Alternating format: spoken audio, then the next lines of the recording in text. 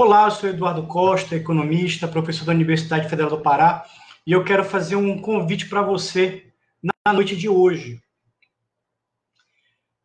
Hoje à noite nós vamos estar no meu canal no Instagram tendo um bate-papo com o deputado estadual Tiago Araújo. Muitos de vocês devem ter acompanhado nas mídias sociais, nos jornais. Ontem, no estado do Pará, houve a aprovação para surpresa de muitos, uma aprovação a toque de caixa, uma aprovação rápida de um projeto do Executivo do Estado do Pará, do governo do Estado do Pará, que autoriza um endividamento de mais de 500 milhões de reais. Muitos ficaram surpresos com isso. Eu amanheci o dia com essa notícia, sem que a população do Estado do Pará tivesse tido a oportunidade de conhecer melhor o projeto, debater melhor o projeto e numa sessão que durou mais de 10 horas ontem, é, eivada de, de polêmicas, o projeto foi aprovado. Então, hoje à noite eu vou conversar com o deputado estadual Tiago Araújo, que vai nos relatar um pouco a dinâmica da aprovação desse projeto, o que, é que aconteceu nesse projeto, falar um pouco sobre esse projeto. Eu diria que esse é um tema fundamental para todos nós que somos do estado do Pará. No meio dessa pandemia, eu sei que a atenção de todos está voltada justamente para a questão da saúde pública. Muitos estão, nesse momento, angustiados, ah, com parentes enfermos. Lamentavelmente, estamos perdendo amigos, parentes, conhecidos. Mas, ao mesmo tempo, nós estamos nos deparando com um processo de endividamento crescente das contas públicas do Estado do Pará. E nós precisamos estar atentos sobre isso. Estado do Pará, que durante os últimos anos sempre foi referência nacional no que se refere à questão da gestão pública fiscal, vem nos últimos um ano e meio vivendo um processo crescente e acelerado de deteriorização das suas contas públicas. O Estado do Pará, que sempre foi um exemplo na gestão fiscal, isso está em documentos oficiais do Banco Central, do IPEA, da Secretaria do Tesouro Nacional, um Estado com baixo nível de, de endividamento, um Estado que é, sempre teve as suas contas públicas equilibradas, mesmo sendo vítima de um federalismo fiscal extremamente prejudicial. A Federação Brasileira é, condena o Estado do Pará ao subdesenvolvimento.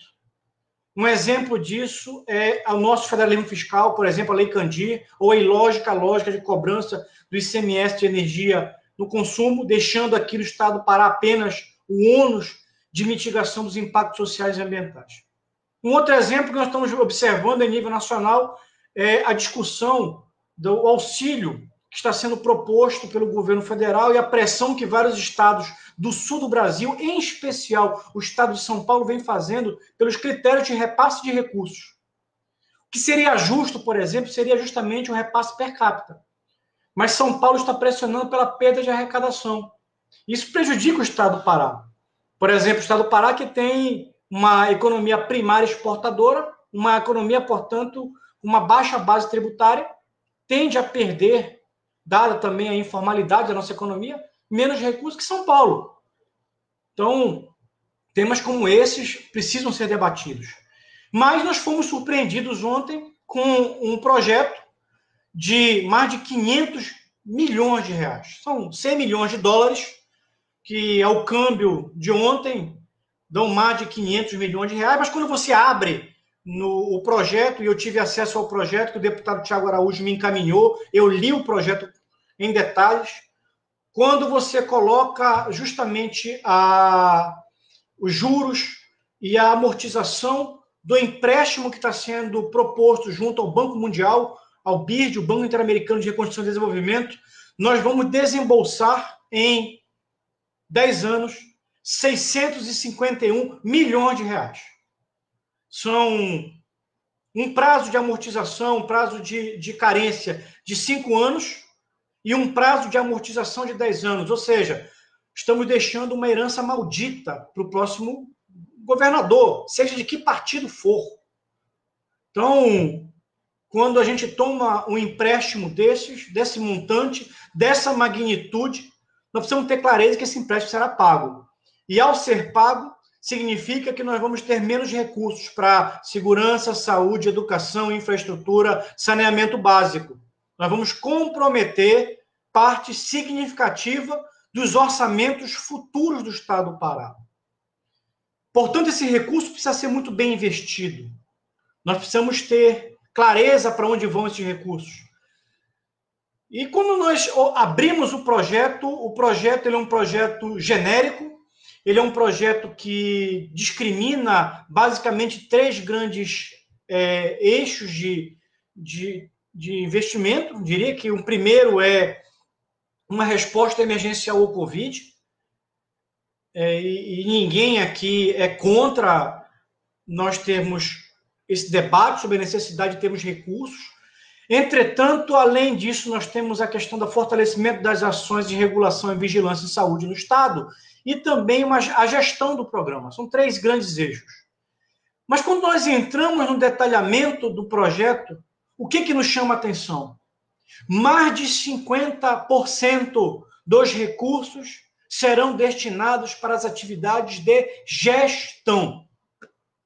Não serão usados na atividade finalística, seja construção de hospital de campanha, seja compra de, de equipamento hospitalar, respiradores, seja, por exemplo, a compra de remédios, que nós estamos observando no estado do Pará.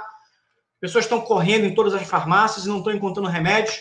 Então, mais de 50% do recurso destinado a esse empréstimo, portanto, mais de, é, atualizando aí os valores, mais de 250 milhões de reais, serão destinados apenas à contratação de pessoas jurídicas, contratação de serviços de gestão, para fazer a gestão do recurso. O que eu acho ah, um exagero muito grande. Posso estar enganado, posso estar errado, mas eu acho que quando você contrata um montante desse, desse montante e mais de 50% está indo para a atividade meio de gerir o próprio recurso, isso é, no mínimo, uh, necessário esclarecimento. Então, hoje, nós vamos ter a oportunidade de conversar com o deputado Tiago Araújo, que foi um dos poucos deputados que tiveram um posicionamento crítico, apresentou 20 emendas, Entretanto, no final ficaram apenas quatro emendas dele e as quatro emendas foram é, derrubadas pelos deputados é, governistas. E nós precisamos, para finalizar, ter clareza de algumas coisas. E isso que nos causa preocupação, nos assombra, nos, nos assusta, além da pouca transparência com que esse projeto foi aprovado, o parco detalhamento da forma como o processo vai transcorrer a partir daqui da frente, o mais de 50% de recursos destinado à gestão desses recursos, dessas atividades. É, esse processo, em função do que nós estamos vivendo, nossa crise sanitária, vai caminhar com as compras, as contratações, com dispensa de licitação. Então, é mais do que, do que nunca é necessário que a sociedade paraense, a população do estado do Pará, é, acompanhe. Nós estamos cansados. Cansados de ver é, população sofrendo, cansados de ver má gestão, cansados com o que nós temos observado nos últimos anos no Brasil, corrupção desenfreada, e tudo que nós não, não, nós não queremos nesse momento é que, além da, da crise sanitária, nós tenhamos na frente uma nova crise com um colapso das contas públicas no estado do Pará, sem que esses recursos tenham um retorno adequado para a população do estado do Pará. Então, eu queria é, convidar vocês, hoje à noite, é, às 20 horas, no meu canal do Instagram, eu coloquei no meu Facebook o link. Eu vou estar conversando com o deputado estadual Tiago Araújo e vou ter a oportunidade de abrir também para ele, para ele poder conversar com vocês. Nós precisamos conversar, nós precisamos dialogar, nós precisamos fiscalizar o Estado, nós precisamos fazer a nossa parte. Então, até mais tarde, até às 20 horas, e eu espero que a gente possa realmente fazer desse instrumento que são nossas redes sociais um canal de acompanhamento, um canal de, de fiscalização, um canal também para entender, e a minha ideia de conversar com o Tiago é a gente entender também um pouco a, a dinâmica da atividade legislativa, o que, que os nossos deputados estão fazendo nesse processo, como é que estão fiscalizando a gestão pública estadual. Então, eu espero você às 20 horas no meu canal no Instagram.